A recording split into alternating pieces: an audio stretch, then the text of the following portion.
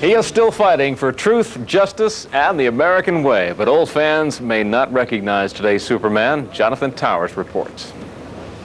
The comic book aficionados waited patiently. Lone Star Comics.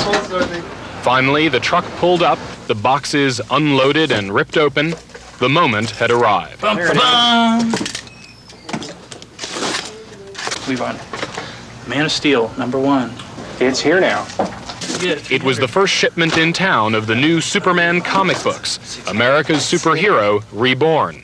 The new series, which DC Comics is hoping will boost sagging Superman comic sales, doesn't exactly start from scratch. It begins with a six issue miniseries retelling the Superman legend from life on the planet Krypton. Only this time, our hero is born as a test tube baby. In his life as Clark Kent, the old fashioned horn rimmed glasses are gone.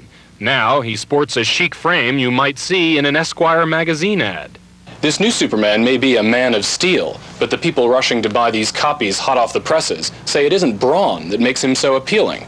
He can be vulnerable. He can be hurt if, if he's not careful. There'd be more interaction with, with um, his uh, adopted parents. You know, he's got to explain this bill he has, so uh, he's got a Universal set or a Nautilus set or something in his apartment. And he has love problems and all, you know, like this. He's more human. This Superman is allowed to grapple with his feelings. There's also expected to be more professional rivalry between mild mannered reporter Clark Kent and that woman of the 80s, Lois Lane.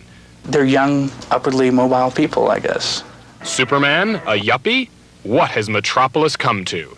Jonathan Towers, CNN, Dallas.